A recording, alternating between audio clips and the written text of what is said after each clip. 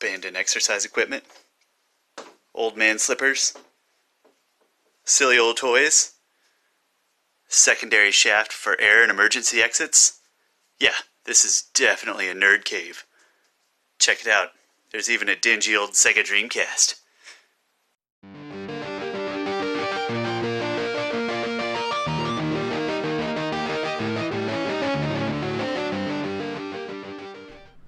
I have a problem. I have a very small Sega Dreamcast collection. I have a grand total of three games for it.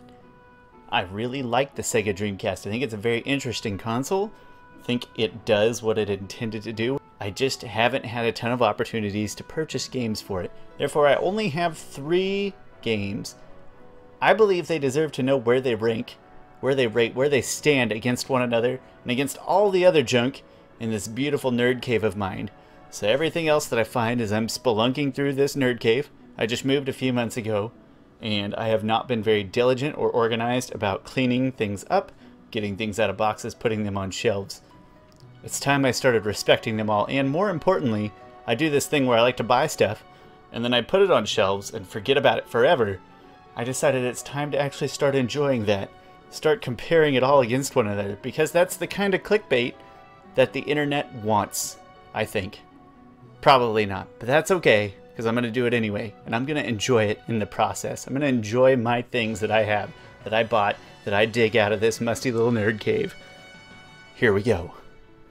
We can't actually talk yet, because first I have to explain my rating system. This is extremely important. It's how I personally rate and rank my games and toys and things against one another. I call it Spragfrab. Now, I know you probably know what this stands for just by looking at it. It rolls right off the tongue. It's very intuitive. I get it.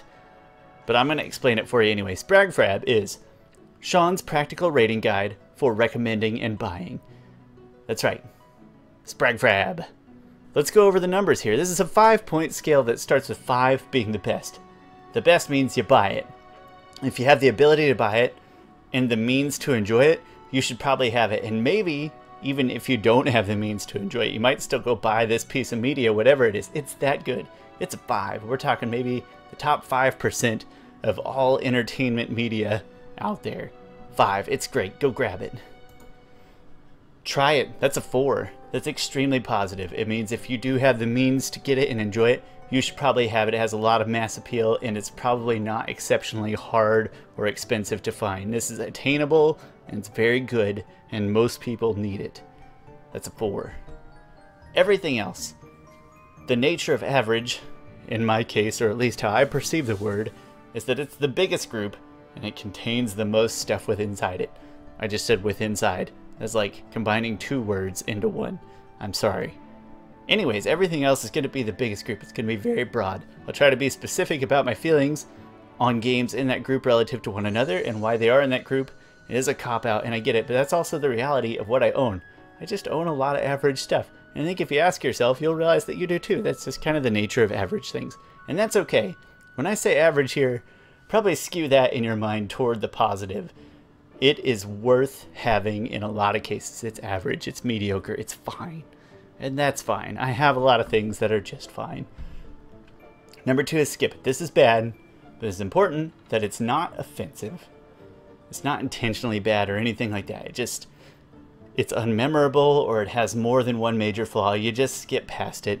No hard feelings. If you have a couple of these on your shelves, that's not a big deal. There's probably good things that I consider too because they are very difficult to get a hold of or they're not worth the money or trouble of having them too. It just it has more than one notable flaw. Probably not worth it. Number one is that bottom 5%. It is offensively bad. Maybe even intentionally bad. In no way should its existence be acknowledged. I hope that I never have ones that I talk about that I actually own because I think these things don't even deserve to be acknowledged. I don't want to acknowledge their existence other than just you need to know that there are ones out there I'm not going to talk about them here, I hope, but they're out there. Easy as pie, right? Yeah, I think so. So let's jump right into it, shall we? First one, Sega Smash Pack Volume 1. This is number 3. And for number 3, I'm giving it a 2. This should be a 4, or maybe a 5, probably just a 4. I love compilations, I love anthologies. This one was a pack-in, so it's fairly common, fairly inexpensive, has a great game selection. This should be great, and compilations kind of are a cop-out, right? We're taking a lot of good games, or you should be, and putting them on new hardware, potentially for new audiences. Like a, like a cash grab, when it doesn't play well, like these don't play well. These tremendous games from the Sega Saturn, Sega Genesis, etc. When they don't play well in this console, to new audiences and on new hardware, when you have other things now that you can play, it's almost it's almost disrespectful to the source. Not almost, it is disrespectful to the source material, and it's very frustrating that it, it could tarnish the legacy of these games just from anybody that hadn't had a lot of experience with them previously buying a Sega Dreamcast, this game included, maybe their first console, maybe their first home video game experience. They pop this game in, play these old games that we claim are greats, and they're so underwhelming or awkward or just not quite playing right. I don't think it's offensive. I think it's just lazy. I'm just going to say it's a 2. It's still probably not going to be that big of a deal to have it sitting on your shelf. It's easy to find, it's common. I can't help myself. I love compilations. I'm such a sucker. It's a 2. It's number 3 game on this list. Number 2, Evolution 2, Far Off Promise. This seems like it would maybe be an interesting RPG. RPG from the year 2000. It's really weird, and maybe it's a product of not having played the first game, but I feel like I'm missing something. I feel like I'm being sort of thrown into an awkward, weird character and story fire that doesn't seem to amount to much and doesn't drag me in. I can't even be interested enough to play it for that long. It just doesn't hook me at all. Everything is kind of bland. Not vanilla, just uninteresting, uninspiring. It's all kind of awkward. I'm going to say this one is a 2 because the only people that are really going to be interested in playing this are hardcore RPG fans or roguelike fans. It's got some roguelike elements to it. And I think that's the only group of people that's going to be interested in getting this. It's not a genre that's heavily represented on the Dreamcast. There's not a lot of affordable ones out there readily available. This one's not extremely common, but it's not that expensive either, so it might be tempting. Probably a better choice for those hardcore roguelike fans and stuff. That's why I'll say it's, a 2. I was teetering on 3 2 because there's really nothing that bad about it. It's just very uninteresting. Uh, but you'd have to go out of your way to find a person, I think, who would actively enjoy playing this game. I think it's a small group of people, and it's not the most common thing in the world. For the most part, I think people can just skip it. Finally, we've got Dead or Alive 2. This game is absolutely synonymous with the Sega Dreamcast. I don't like fighters, not really any of them. I don't really like this one in particular. I'm more of a Soul Calibur guy on the other consoles. Obviously, I don't own it on the Sega Dreamcast.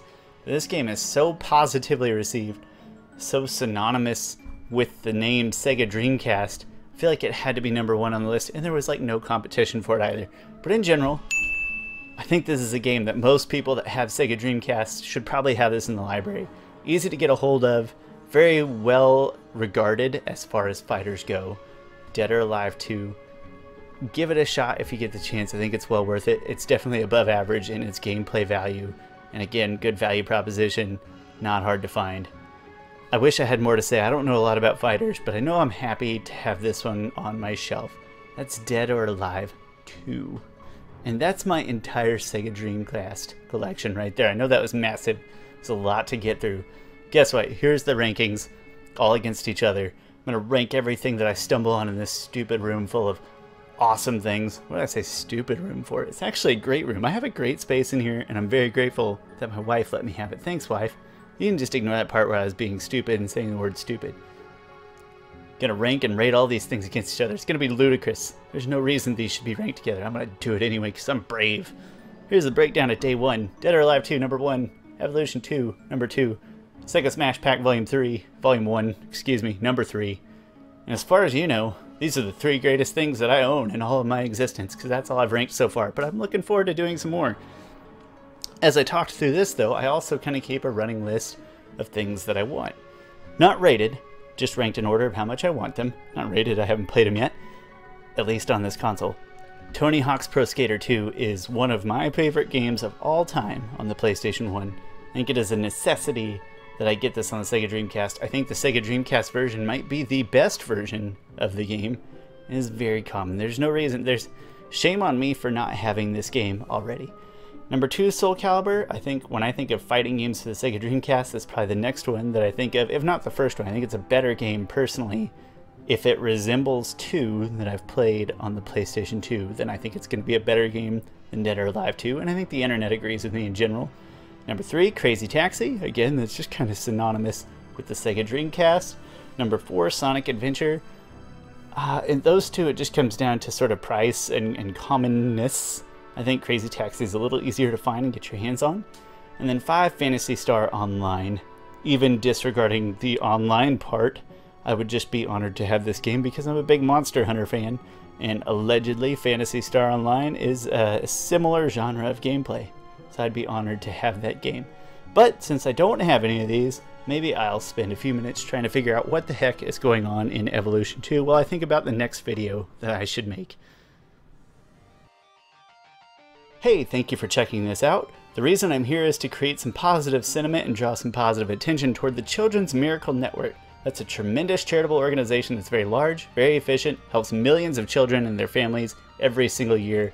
I'm very fond of it. Check them out at cmn.org or see my personal campaign at shawnschaller.com.